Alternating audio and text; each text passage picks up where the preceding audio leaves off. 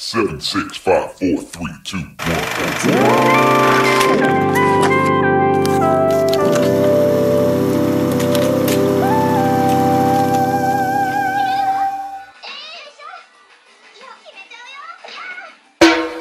果然人以群分，你们都是正直的人。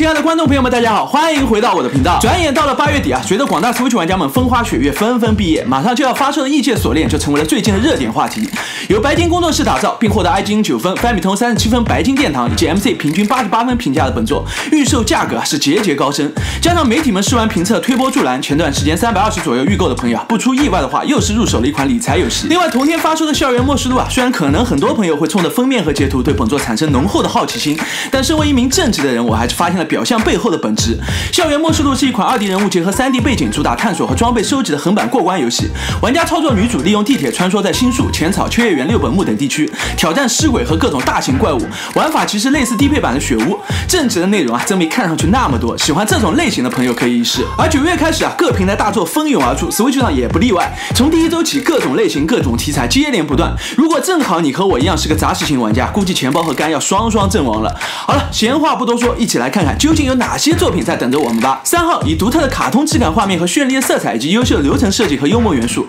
曾在欧美玩家群中红极一时。收入了系列初代、二代和龙年三款作品《小龙斯派罗重燃三部曲》啊，将在当天正式登陆 Switch 平台。发布于九零年代原作，曾是当时 PS 平台独占代表作品之一，系列累计销量超过千万。在经过彻底高清重制后啊，本作色彩风格更加绚丽，活泼的经典音乐元素也得以保留。斯派罗的丰富动作与独特魅力表现更加强烈。重制版在原有经典玩法基础上，还对操作和系统进行了优化，使得游戏更符合现代玩家们的体验习惯。本作暂无中文，不过影响不大。目前最便宜俄罗斯服售价约两百七十一块。隔天发售的《火炬之光二》系列初代就曾凭借独特艺术风格、成熟的职业与装备系统和耐玩打法红极一时，继承了前作和暗黑二特色。系列第二作流程元素更加丰富，整体世界观架构也更加宏大，被许多玩家称之为暗黑二后最值得一玩的美式 ARPG 游戏。但可惜，无论当时还是现在，本作都与《暗黑破坏神三》撞车，PC 版本还有着能够真正单机的优势，主机版就不复存在了。所以，除非特别钟爱《火炬之光》的划分，一般情况下，此类型还是更推荐《大菠萝三》。游戏全区中文支持一到四名玩家，目前最便宜墨西哥府约合人民币一百三十九块。当天还有一款我完全看不懂什么类型，名字不会念，也不知道玩点在哪，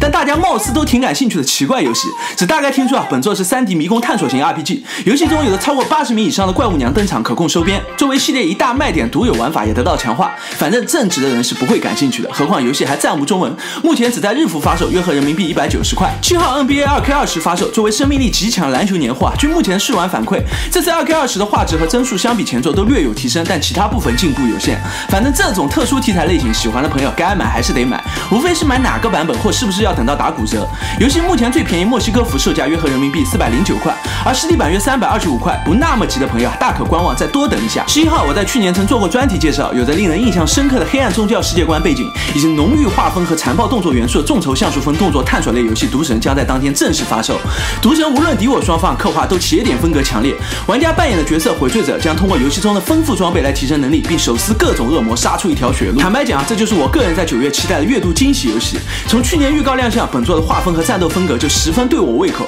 只是希望难度上还能稍微亲民一些。目前游戏还暂无中文消息，最便宜墨西哥服售价约合人民币一百七十四块，而隔天在去年亮相就获得大量关注，以大型机甲战斗配合卡通渲染风格而别具特色的 Demon X Machina 机甲战模就将正式发售。本作采用虚幻四引擎开发，独特的色彩风格配上机甲题材，确实令人眼前一亮。自定义系统也十分丰富，但在上半年早些时候，本作试玩版发布后，其中特别是在细节和手感反馈上的不少缺陷，也令玩家们纷纷提出了质疑。不过好在制作团队很快就给出回应，不但承诺会根据玩家意见进行改正啊，甚至作为平台独占，Dim X Machina 还特意发布了一版试玩修正预告来展示诚意，对画面表现、游戏系统操作和手感反馈等方面都进行了优化。这种效率和态度还是非常值得肯定的，就看正式版是否能令大家满意的。本作日港版中文，不过目前数字版价格都高的离谱，有兴趣的朋友还是建议购买实体版约三百七十五块，支持一到四名玩家。十八号，由曾制作《秋之回忆》Level 十七和极限脱出系列的 AVG 剧本鬼才打月刚太郎，以及曾参与火纹英雄不在等作品人设的人气插画师小崎洋介，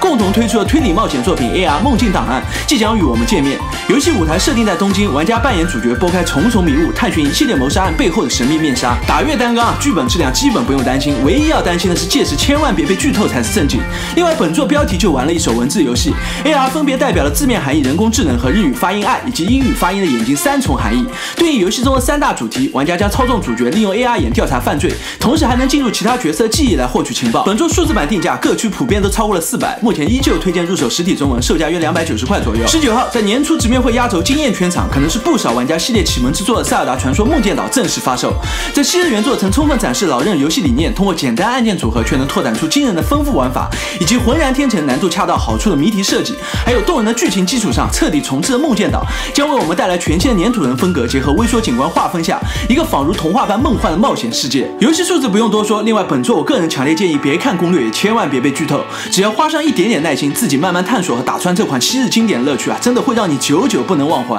对了，还有游戏中潜藏大量任天堂梗啊，也绝对会让熟悉的玩家们会心一笑。另外，E 三时还公布了本作加入了全新的地牢搭建模式，耐玩性上也有了保障。老玩家们或是玩过二 D 版塞尔达作品的，放心入手就行。新玩家们如果只接触或听说过旷野之息啊，相信我，本作会为你们展现出别样的塞尔达魅力。它或许没有野炊那么广阔的世界和让人拍案叫绝的自由度，但梦见岛一定会让你感慨，这款老任最下功夫在游戏性上不遗余力打造的核心 IP，塞尔达一出必属精品。同天由 Level Five 和吉卜力联合制作，并作为公司创建十周年纪念的游戏第一作《二之国：白色圣辉女王》将于当天发售。本作最大特色就在于结合计时和回合制 RPG 玩法基础上，不但有吉卜力工作室创作并负责分镜绘制，再配合九十让的作曲，从而为玩家们打造出一场有如观赏动画电影般的美妙体验。无论画面、音效、剧情还是可玩性以及世界观塑造，本作的表现都属于上佳水准。但非常非常可惜的就是，虽然 Level Five 在去年底刚表示会进军中国市场，但作为经典重置的本作啊，依旧暂无中文。目前最便宜墨西哥服售价三百四十块，实体版约三百二十块。二十四号，多人不对等在线对抗游戏《黎明杀机》Switch 版发售，游戏中玩家可以扮演杀手或逃生者，在阴暗压抑的环境中展开一场场生死追逐戏码。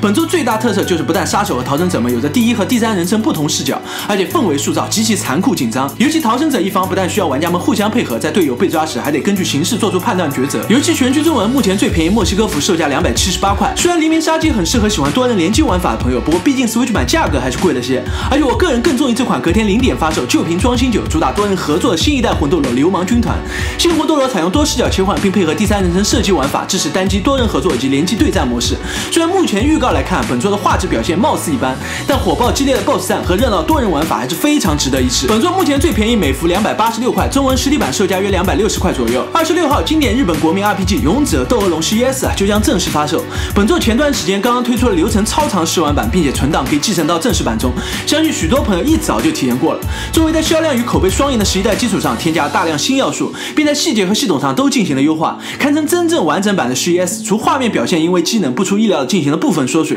本身流畅度和体验无论主机和便携模式下都优化的不错。虽然出现了试玩版中不少玩家被报错强退的 bug，但官方一早就发现并声明正在着手处理。王道剧情、王道玩法、经典回合制战斗和游戏系统也容易招致部分玩家觉得平平无奇，但系列发展至今成熟完善的细节、叙事和综合表现，再加上 DQ 铁三角制作阵容的稳定发挥，正如同我在本作试玩介绍中所说啊，如果你只是听说过《勇者斗恶龙》，但有兴趣想尝试一下，那么吉利代大成的十一 S 将是入坑这个经久不衰日式 RPG 代表系列的最佳选择。游戏除日区外皆有中文，目前最便宜澳大利亚服三百八十七块，实体版约三百二十五块。同天，莱莎的工作室《长案女王与秘密藏身处》也正式发售。作为工作室系列最新作品，本作玩法将与系列前作有很大区别，无论材料收集、物品调和还是战斗，都会进行改变。而原本从不关心工作室系列的我，本来压根都没准备要讲这游戏。不过在群友们的疯狂安利轰炸下，我还是稍微看了一眼游戏预告。正直的人真没看出哪里好玩，好像战斗部分还不错，哎，买了买了。游戏中文实体版约三百八十块左右。另外，生存动作冒险游戏《绝体绝命都市四 Plus 夏日回忆》也将在当天发售。本作和系列以往风格一致，玩家扮演主角在遭到超大地震袭击的都市中探索并设法逃出。本身四代在经历一连串的修改和版权更替后啊，从 PS 三直接跳票到了 PS 四末期才最终上市，并且因为预算和制作能力有限，游戏优化上也存在了不少问题。截至目前也不确定 Switch 版是否支持中文。游戏实体版售价约三百八十块左右。即使喜欢这一系列的玩家，也需要综合考虑下各平台表现再做决定。二十八号，经典动作冒险游戏《奥日与黑暗森林》正式发售。本次 Switch 平台上的决定版将在原作基础上，包含了新区域、新秘密、新能力、更多剧情以及多种难度模式和完整回溯资源等等其他新内容。《二日与黑暗森林》是一款有如艺术品般精美画面风格，很多时候甚至玩家会错以为在观看动画一样的游戏。不看攻略下自己探索玩法，非常容易令人投入。剧情设计和叙事更是行云流水，制作精良。不过游戏目前公布的细节不多，有兴趣的朋友可以多关注一下后续消息。好，今天的视频就到这里，最后谢谢大家的收看。我的下月个人游戏购买和试玩清单也会在稍后发布，如果喜欢的话，别忘了点个赞或者收藏。我们下期见，拜拜。